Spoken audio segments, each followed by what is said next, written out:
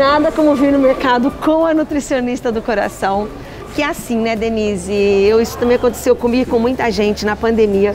A gente acabou ficando mais em casa, comendo coisas mais fáceis. E realmente houve um aumento da obesidade. Agora nós estamos voltando a sair e além da, dessa preocupação que eu tenho com o emagrecimento, eu também tenho da gente comer coisas saudáveis para cuidar da nossa imunidade, porque a gente não pode descuidar. E frutas é essencial a gente ter na nossa alimentação, né? Com certeza. Então vamos lá. É, nesses dois anos de pandemia que a gente ficou mais recluso, as pessoas descobriram a cozinha, tá? Começaram a cozinhar mais, porém começaram a cozinhar coisas muito gostosas dentro de casa, né, Rose? Então começou a fazer bolo, tortas, e com isso as pessoas acabaram aumentando o peso.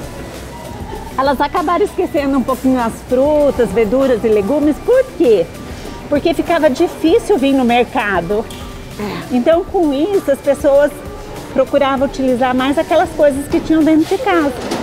E daí acabou sendo esquecido um pouquinho e sendo deixado de lado as frutas e verduras. Daqui, Denise, morango, abacaxi, maçã, uva preta, o que, que você acha que a gente põe no nosso carrinho Bom, aqui para levar? Para a gente começar a melhorar essa questão da imunidade, eu acho que eu falaria um morango.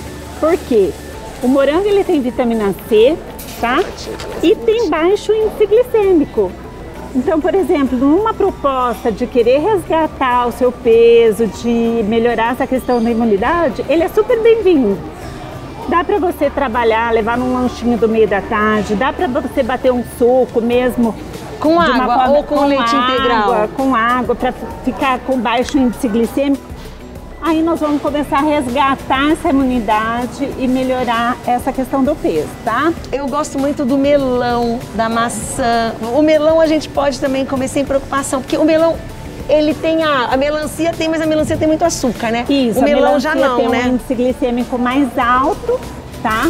O melão, ele tem bastante água, bastante potássio, tá? Como que eu escolho aqui um melão? Geralmente o melão, quando ele está no mercado, você vai perceber que ele está mais verde, tá? Por quê? O mercado ele tem um prazo para vender. Então, se eu comprar o melão e picar hoje, ele não vai estar tá doce, tá? Se eu esperar uns cinco dias e picar o melão, fica mais aí docinho. vai ficar mais docinho, o sabor agradável, você não vai precisar colocar é, nada de açúcar. Então vamos escolher um, limão, um melão para a gente levar. Eu acho que eu levaria esse mesmo, tá? Esse, aqui. Ó, esse tá bonito, tá? Aí... Além do que, o melão tem bastante água, que ele ajuda a melhorar a diurese e ajuda a urinar bastante, eliminando, eliminando toxinas. Antes da gente voltar lá nas frutas, é legal de manhã uhum. a gente fazer um suco detox o que, que eu posso pegar aqui para fazer um suco detox e o que, que eu, eu coloco no meu suco verde? Tá, então dá pra gente não só fazer o suco verde, como dá pra gente fazer o suco com morango também. A gente pode inventar, vamos dizer assim. É, uma das coisas que eu posso utilizar, que todo mundo já sabe, que o preço é bem bacana, é, é a, couve. couve. Então vamos escolher uma couve bonita tá, aí. Vamos escolher uma couve legal. Então, a couve... Então, essa couve seria interessante chegar em casa, lavar, já deixar higienizado e deixar congeladinho. A sugestão é picar, põe no saquinho e já congela. Mas eu congelo ela picadinha, não batida? Tanto faz. Se você cortar ela picadinho, você sempre vai pegar a porção que você quer também, tá? Aí eu vou pegar a couve. Outra coisa que eu acho interessante é a salsinha. A salsinha ela é fonte é, de ferro, ácido fólico, cálcio e ela também me ajuda na diurese. Então, se eu colocar um pouquinho nesse suco verde, ele vai ficar bacana. Uma outra coisa que a gente pode colocar, deixa eu ver se tem aqui, é o pepino. Porque o pepino, ele ajuda muito nessa questão da diurese. Ali, ó. O pepino tá ali, ó. Ó, por isso que eu estou falando, o suco na realidade eu posso variar, porque o pepino ele me ajuda a fazer bastante diurese, ajudando nessa questão da, da, da volta do meu peso, com baixo índice glicêmico. Eu gosto de colocar no meu suco verde a maçã. Você fala da maçã ou uma outra fruta para dar aquela quebrada assim no verde? Eu acho que a maçã fica legal, o limão e eu gosto da maçã verde também. Uma outra coisa que eu estou procurando aqui é a hortelã, porque às vezes a gente pode fazer um suco, tá? E colocar a hortelã e ele vai ficar bem refrescante, tá? Então eu posso brincar com os vegetais e com essas frutas. Vamos lá escolher Vamos uma fruta? Escolher a maçã.